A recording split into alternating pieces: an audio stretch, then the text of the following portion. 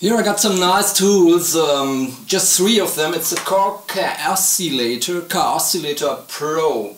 So it's three of them and I try to check out how to combine one with the other and does it make sense to combine some of them. I could have taken six but I tried with uh, three. They are connected to AirSynth.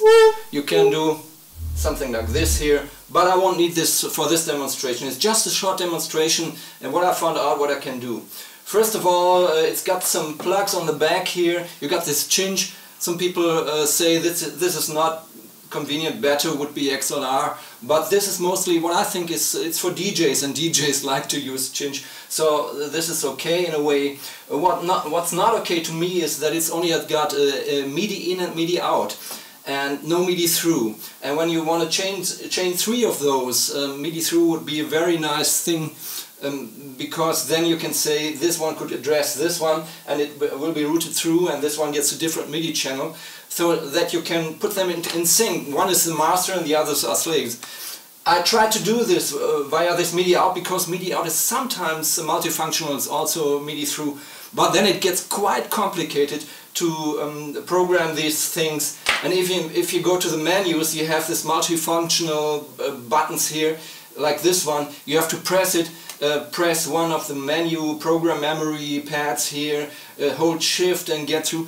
This is not really what I would like to have if I want to do something live here uh, or just throw in three or six or seven or eight of the, those and put them into a change and uh, uh, sync them with each other. There, there will be people out there who do it, but I don't have the, the nerve to do this. I don't think, think this is really nice. But on the other hand, you have this tap tempo thing here where you can tap a tempo in and you can push the program button and you can uh, put in a, a, BPM. I put in 120 because most people like this 120 uh, beats and uh, then they run in sync really also, also over a long time. This is not really normal. I, I have some equipment here where it's running out of uh, tempo after a while uh, if it's not connected via MIDI clock, but this works in a way. So let's give it a try. I'll check some of this here and give you a short impression what it can do and what it might not do out of the box. Hey, let's try to manage something. I choose this one for the drums and we start like a record, press one of those and do a record. And here it goes on and on and on. Then I can take the microphone and choose a different pattern.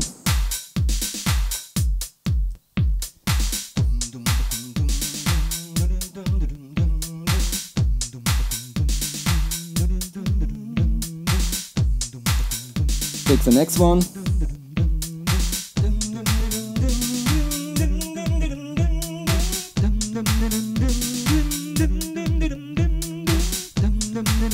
Another one.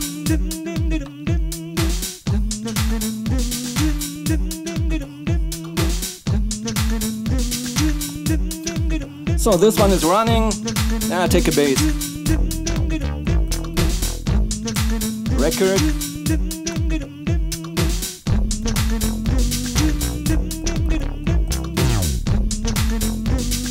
This one is running, take the next one.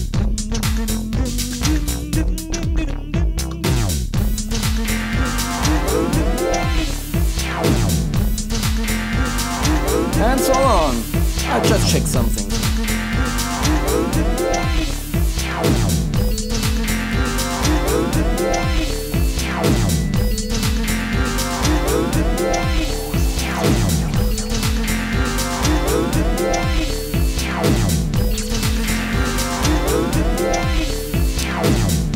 And after that you can play around with this. You deactivate record, of course, and then you can do like this here.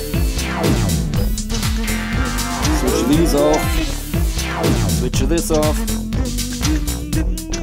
switch this off, and in, your end, in the end you find yourself with badly sung, of course, you, yeah, it's bad, but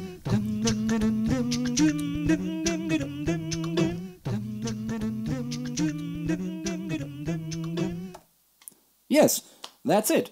So somehow it's quite easy to do something like this. It's in in, uh, in the timing. But once I press tempo here, and once I want to get into this, uh, listen what's happening now.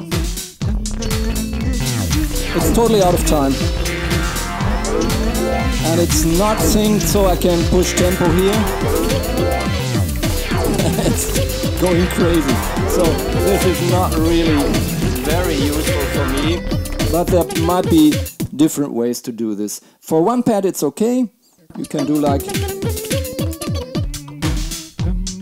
For one pad it's no problem. But to put these pads into sync with this one, what the hell? I can have a look here. The, the tempo is 105.3. Maybe it, ah, it's externally controlled. So, this is what's confusing me. And it would be so nice and easy like you do with other MIDI uh, devices just to sync it and this thing is the master and these are the slaves and uh, they run in uh, time and I also found out uh, when I got a rhythm like this and I have the same tempo on this third one or the, or the second one.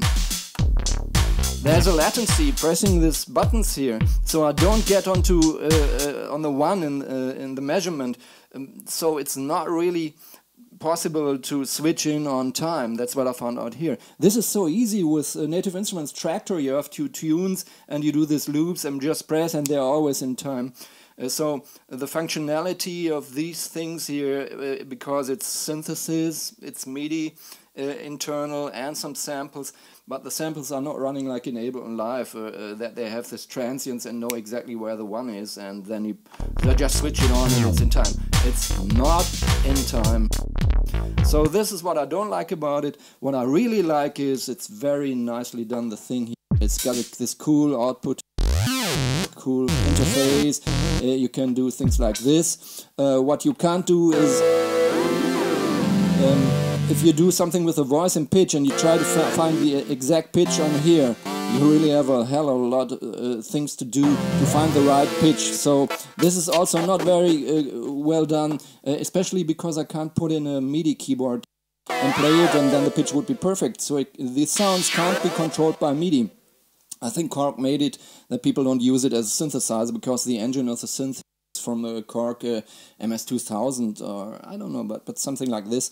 So this would make uh, the thing much more valuable. So you gotta buy a synth and buy this and then you sync them. Um, all in all, um, it's a very nice tool, and I respect to Beardyman and uh, uh, guys like him who used it a, as a looping station, the car, car uh, uh, Kaoss Pad, I think it was not the Kaossilator, and running all these things in, in, in, in, the timing.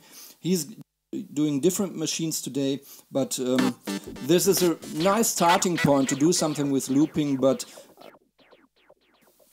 this setting is not really convenient for doing sync things, so just buy one of those, do some looping, have fun with it, but uh, I would not try to check six or more of those. Uh, that's overkill.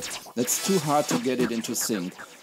Or hopefully somebody is out there is doing a YouTube video and showing you how it's working. For me it was just checking it in a few minutes. Uh, so that's what I found out and now it's on you and have fun with it. Thanks.